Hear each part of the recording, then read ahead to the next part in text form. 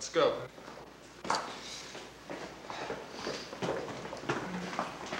Look at this guy. No.